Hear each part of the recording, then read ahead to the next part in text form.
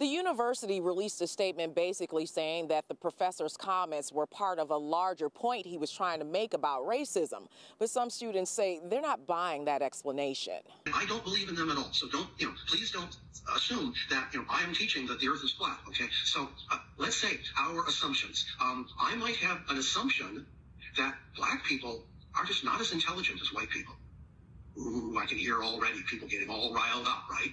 These comments made by SDSU professor Robert Jordan during a recent online lecture have some students upset, saying he was insensitive and ignoring the intense racial climate in the country right now.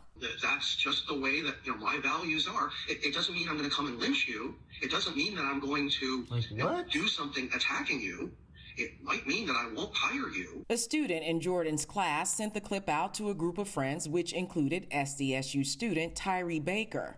Baker then posted the clip on his Instagram page, which now has over 24,000 views. Initially, I just wanted to spread the awareness of it, but it ended up being viral because he then, after, didn't apologize to the students that he offended.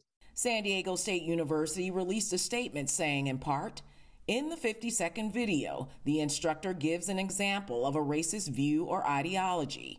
Jordan insists the clip in no way represents his personal views or opinions. To be clear, SDSU does not tolerate acts of marginalization, racism, and hatred based on personal background, identity, or color. Hundreds of students made comments, some agreeing with the university and others pushing back against Jordan and SDSU's response. They talk about diversity and but stuff stuff like this, they should they should step up for their black the, their black community or black students that were in that class. And I just think it was just all wrong.